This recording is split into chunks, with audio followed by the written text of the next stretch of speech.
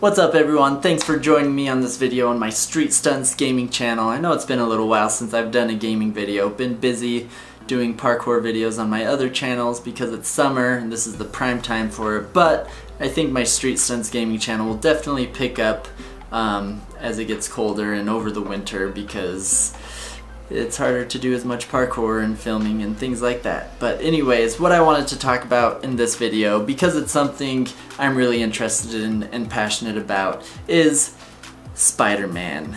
In gaming specifically, and even more specifically, the web swinging mechanic, the web swinging mechanic in Spider-Man games.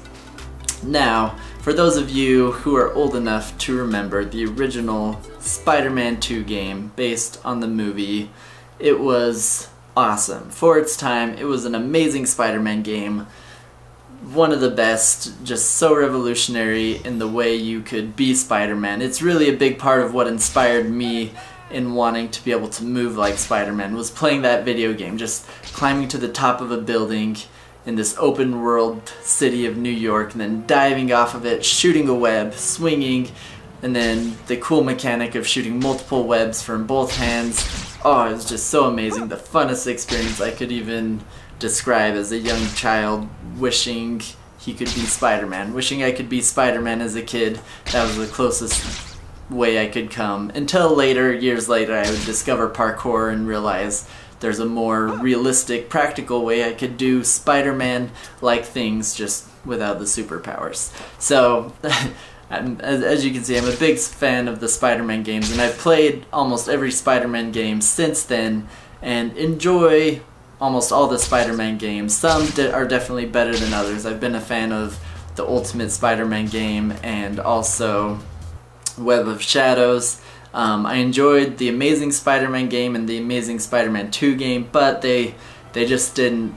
I, I felt like my fandom for Spider-Man games started dying with those two games, and even some of the previous games, because none of them lived up to the true web-swinging potential that the original Spider-Man 2 game had. And I wanted to talk about why the web-swinging in that game was so great.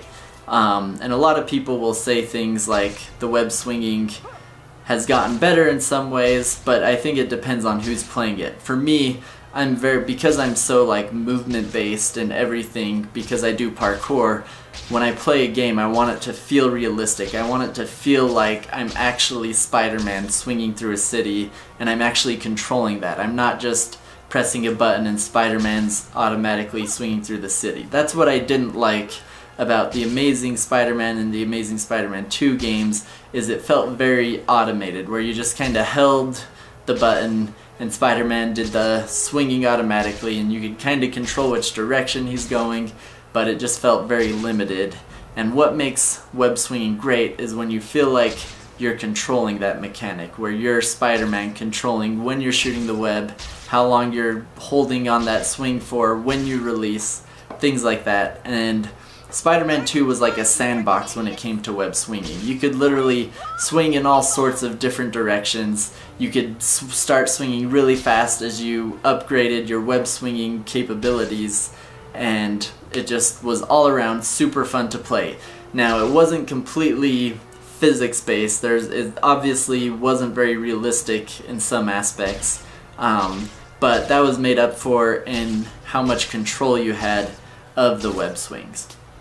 And now I wanted to talk about the newest Spider-Man 4 game coming out from the gameplay footage we've been able to see. It looks like it'll have some some pretty good physics-based web swinging, but there's a couple things about it that just really make me feel like it it won't be as fun as the original Spider-Man 2 game. It still looks like it'll be the best web swinging game yet since that game, but I don't know if it'll be as fun and here's the reason why, is because when you're swinging a web as Spider-Man, it's not just about it being physics-based. Like, that's really important and that's good, but it has to have the feeling of being able to control how you shoot your webs, how you swing, and how big of a swing and arc you can create. Now, as you can see, as he's swinging, you know, he has a decent bit of uh, momentum going and the physics look pretty good but every time he shoots a web, if you notice, the web shoots almost straight up, maybe slightly forward, but by the time the web actually attaches, Spider-Man's already past that point and swinging on the upswing of his arc. Now what that means is that you're only ever swinging forward and up.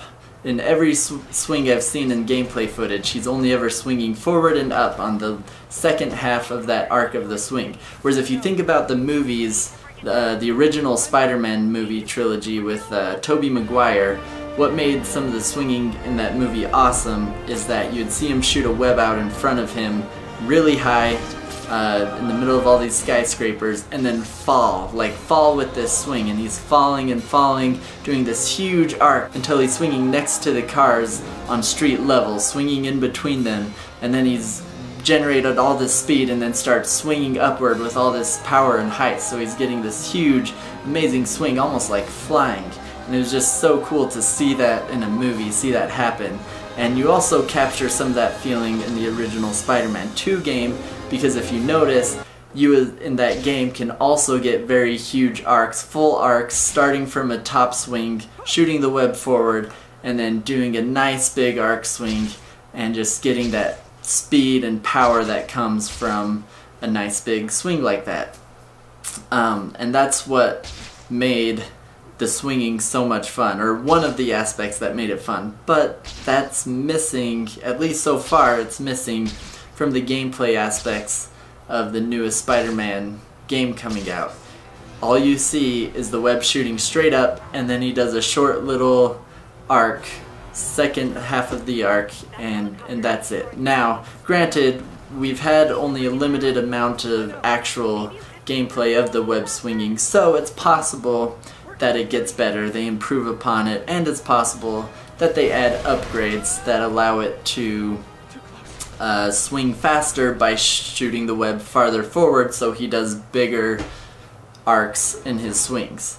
That's what I really want in a Spider-Man game. I just feel like it would be so much fun to just do a huge swing where you're at like the top you're you're at the top of a building, skyscraper level, shooting a web way out in front of you and then just falling, falling, getting this huge swing, generating all this momentum. That's what a Spider-Man game needs. And no Spider-Man game has really gotten it down. Spider-Man 2, the game was the closest um, with doing that, but it still wasn't completely physics-based. But for its time, it's definitely the best web swinging we've had. I think this game, the newest one coming out for PS4, can do that, but it's hard to say completely because it just hasn't shown us having that ability. And and maybe they'll show us more and show that you really can get these awesome swings as you upgrade. I heard it was confirmed that there will be upgrades to the swinging ability, and so I can only hope that the swinging will be as awesome or more awesome than that game because it's physics based and as long as they get the mechanics right for how far forward your web shoots and swings um, and getting those big arcs in your swings that will make the game for I'll buy I don't have a PS4 but if the web swinging were like that I would buy a PS4 just to play that Spider-Man game just to do the web swinging all the other stuff about that game you know looks awesome some of the combat seems really cool but all I really care about is amazing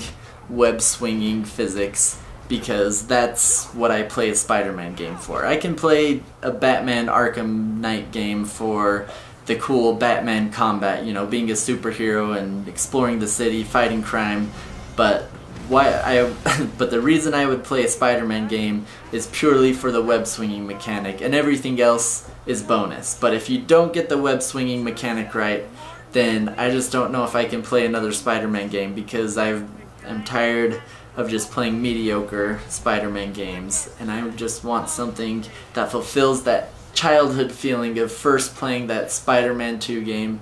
That was just so much fun um, that I actually downloaded an emulator to play it um, properly. And that's how I actually have this footage that I'm showing you throughout this video.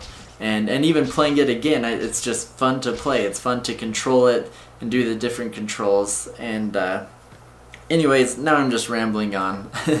I just wanted to let you guys know in my opinion what makes the web swinging mechanic great in a Spider-Man game and what they need to do um, for future Spider-Man games and let's hope they do that for the newest one coming out. And if they do I'll buy a PS4 and show you my own gameplay review of the Spider-Man swinging mechanic. But if it appears they don't I just don't know if I can justify buying a PS4 at this time and we'll just have to stick to PC gaming. So anyways that's all for now let me know your thoughts on the Spider-Man web swinging mechanic and just any thoughts you have in general on the upcoming Spider-Man game. I do think it looks like a lot of fun and I would be excited to play it.